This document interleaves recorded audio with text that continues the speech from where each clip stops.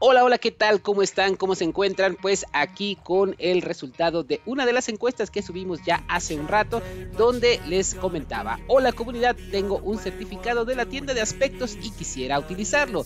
¿Qué aspecto de Marta te gusta más? Por ahí les dejaba el videito y con un total de 146 votos, abajo los resultados de la encuesta para el nuevo aspecto de nuestra heroína Marta. Con un 12% se queda el aspecto invernal, un 9% el aspecto de mascarada, 23% el aspecto solar y tenemos un ganador, el aspecto celestial con un total de 56 votos. Así que vámonos al juego y vamos a comprar este aspecto o nuevo aspecto para nuestra heroína Marta.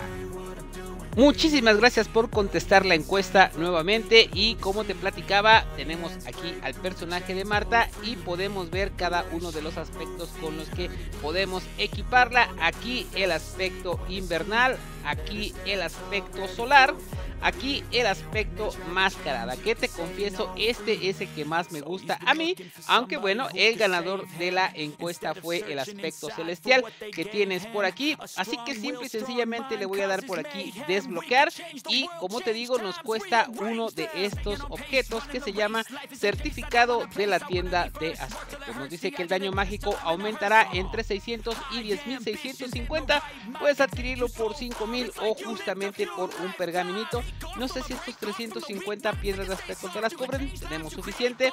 Le damos clic y ahí lo tienes. Enhorabuena. Conseguiste el aspecto celestial para Marta. Y además también recibes 350 piedras de, ¿cómo es que se llaman? Piedras de aspecto de inteligencia. Pues bueno, ya tenemos un nuevo aspecto para nuestro héroe Marta. Se ve genial. La verdad cambia muchísimo el aspecto.